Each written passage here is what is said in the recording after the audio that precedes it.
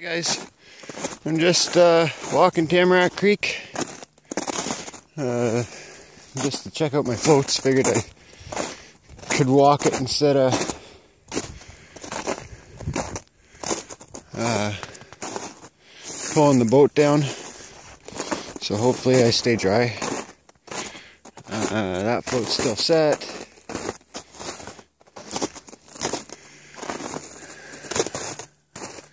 That float's still set. You gotta watch out for those spots. That float's still set.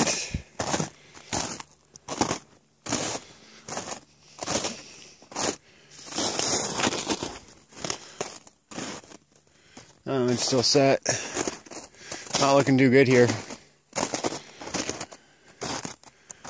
Uh, that still set. I got two more. I think I got skunked. Oh well. I can take a walk up while I'm here to that other inlet. and that one be set. I need more bait on that one.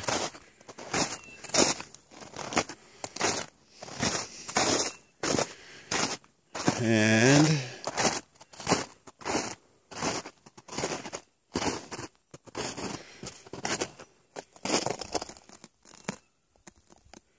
can only see one trap on that one, but I'll uh, walk up and around to get a look at the other one. But you can see it's opening up.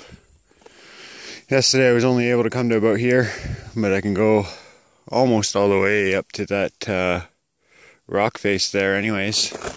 I'll just show you since I still got you on. Yeah, that one's still set too. Okay, that's fine. So I didn't catch a rat, but I'll leave them out. And uh, come check tomorrow morning before we leave. I'll just go see what this is. But yeah, you can see she's pretty well broken up to here now. And even up that way quite a ways. And like I said, there's this little inlet here.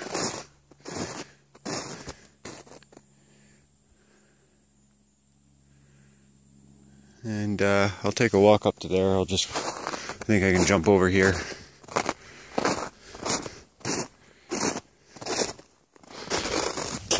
And this hard pack is nice. You can just walk wherever you want without having to worry about sinking through feet, three feet of snow. Almost looks like quite a bit of footprints up here. Old tracks of stuff.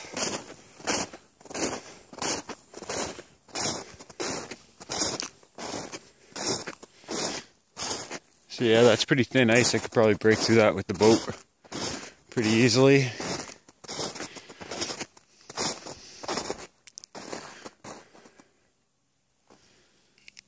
And keep setting along the way. But, uh, huh. Cool. Alrighty, well, we'll leave this for now. Come back tomorrow and check things out again. And uh, see what happens. But no rats today. Oh well. Hey guys, I was out here yesterday and uh, well, there was nothing on the highway when I drove by and turned around up here earlier, but uh, this morning I found this guy. Nice big dog mink.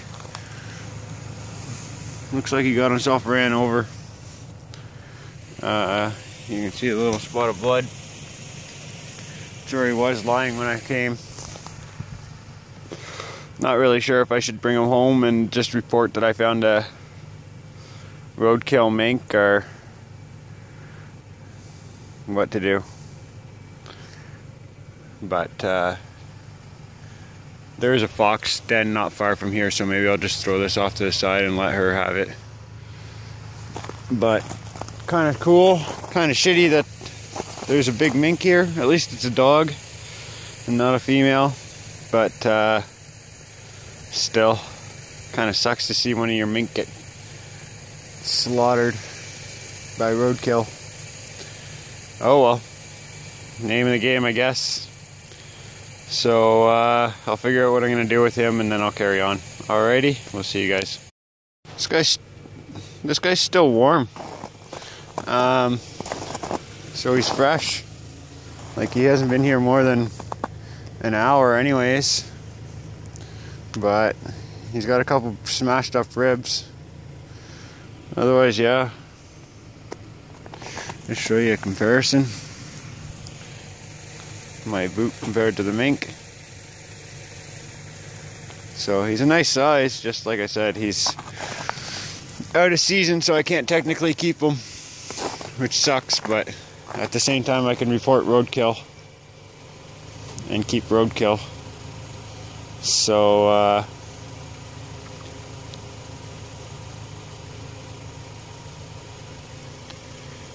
yeah, not really sure. Alrighty, anyways, I'll turn you off and carry on.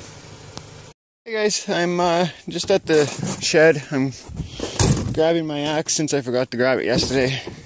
It's uh, down in here someplace. Bunny pelt. I think that's just a pelt. Yeah, that's just a pelt. No bunny in that one.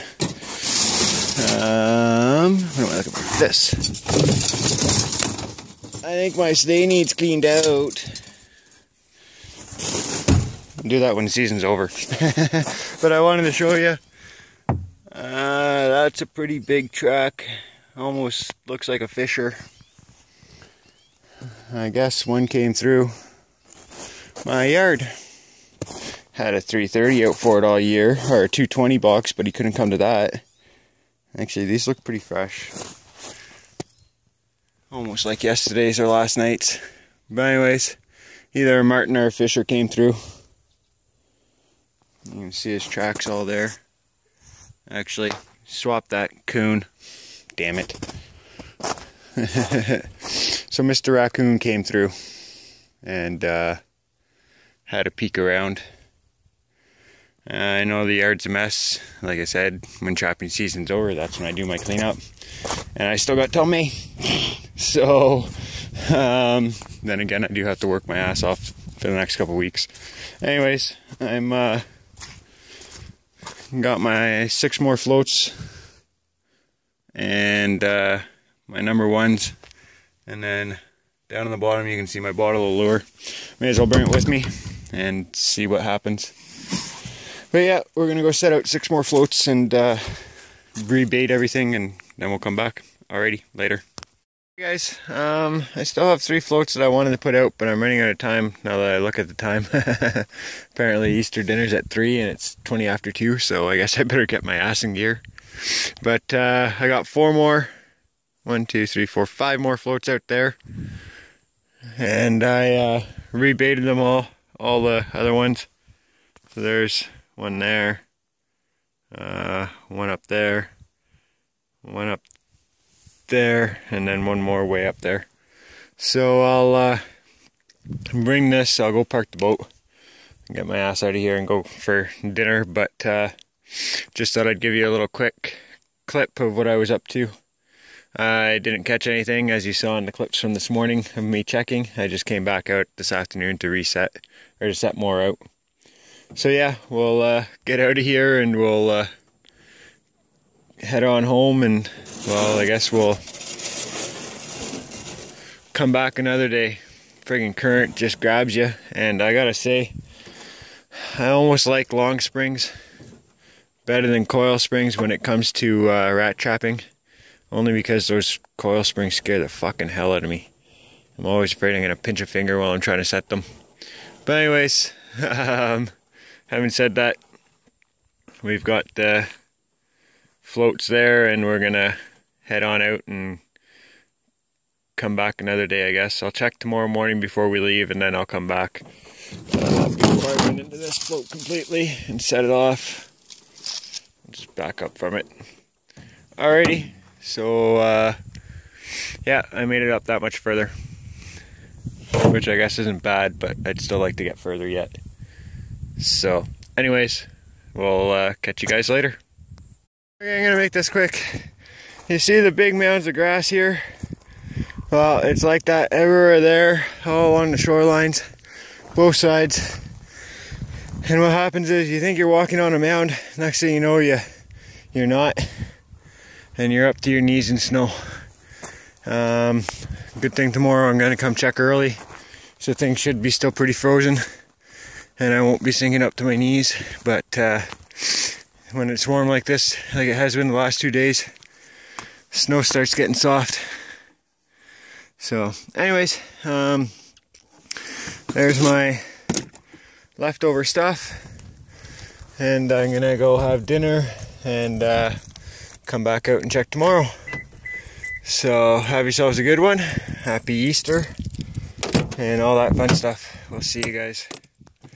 Just uh, one more thing that make that I found this morning on the side of the road. Um, I decided to bring it home, and what I'll do is I'll make a phone call on Tuesday and see what I can do with it. See if I'm allowed to keep it or uh, what. But because season's closed, that's why I was unsure about keeping it or not. I mean, I didn't kill it; it was roadkill. But uh, just the same, I don't really want to get in trouble for picking up a roadkill make um, when season's closed for them. So, like I said, I'll make a phone call on Monday to our uh, representative for the MNR for trappers and see what he has to say and go from there. I'm sure it'll be fine, but I'd rather do things right than get in trouble for something silly like picking up a roadkill mink. But anyways, that's all for that. Have yourselves a good one, and we shall see you hopefully tomorrow morning with a few rats. Otherwise, uh, I'll just I won't make a video if I don't catch anything.